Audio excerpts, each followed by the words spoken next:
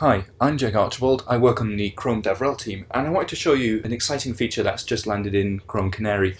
Now if you want to have a play around with this, you need to launch Canary from the command line and behind this series of exciting command line flags.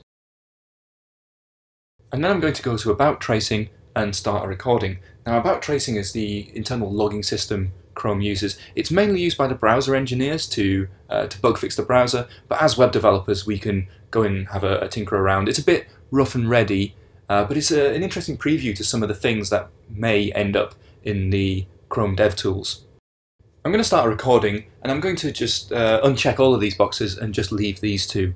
Uh, disabled by default, that's where the new stuff is. Then I'm going to open a new tab with Google+. I'm just going to have a scroll around and look at some content, hope there's nothing private there.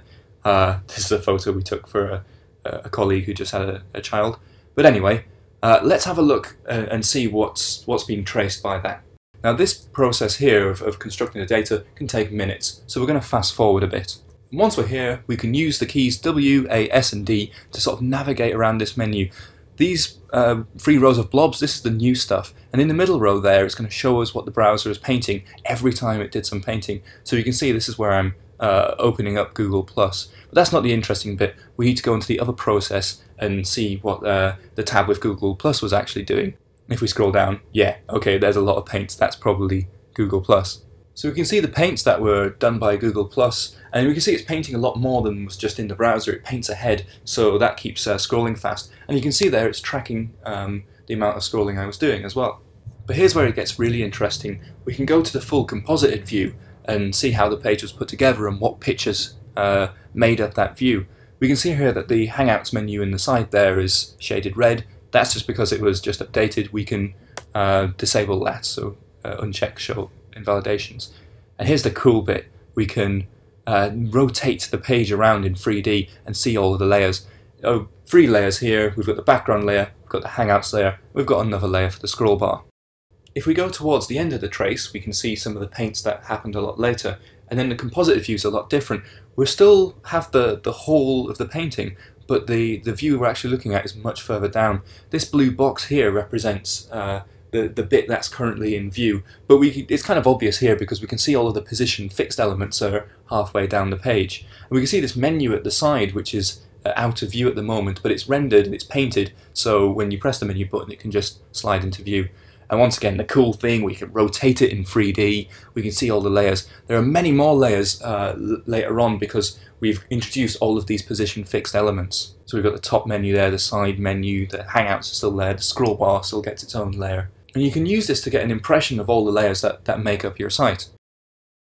In this side menu you can see all of the layers uh, that, that compose that one drawing and you can get metadata about those as well. So you can see all of the individual draw commands that made up that layer and also get an impression of how much space it's taking up on the GPU and how many GPU tiles it's using.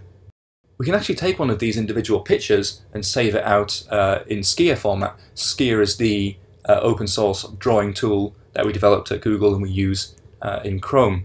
And once you have this, you can take it into the Skia debugger Getting the Skia debugger up and running is a little bit more involved, but I'll include a link if you want to, to have a go.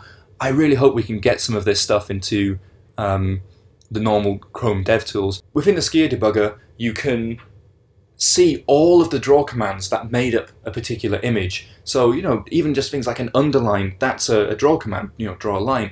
Bits of text, that's a command.